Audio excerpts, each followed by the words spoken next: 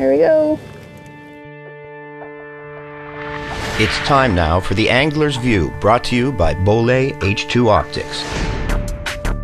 Danielle and Kathy went in search of sunfish in four to seven feet of water. The girls looked for areas with scattered weed growth and boulders close to camp with their 15 foot canoe. They targeted weed pockets, areas where they knew these somewhat scrappy little fish would be hiding.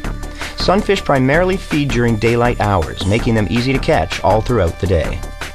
Bluegills and pumpkin seed are plentiful throughout the Kawartha chain of lakes, even from the shore or a dock. They are an ideal species to whet a child's appetite for fishing, as good numbers of fish are generally caught. Ultralight equipment is best suited for pursuing and successfully enticing these panfish into striking. The girls used 5 foot 6 inch ultralight rods combined with small spinning reels spooled with 6 pound test monofilament fishing line.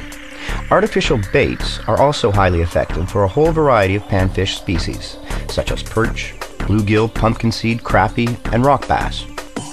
Both artificial and live bait presentations work well.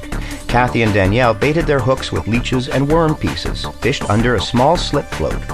Three small split shot were used to submerge their hook baits to the desired depth of 3 to 4 feet.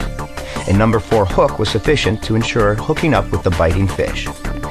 If you are a novice angler or you simply want something to occupy the kids at the cottage or campsite, try pan fishing. It can be both relaxing and fun for the whole family. Weather conditions through the whole weekend varied from full sun to overcast with light rain. For more information on subjects featured in today's show, log on to our website.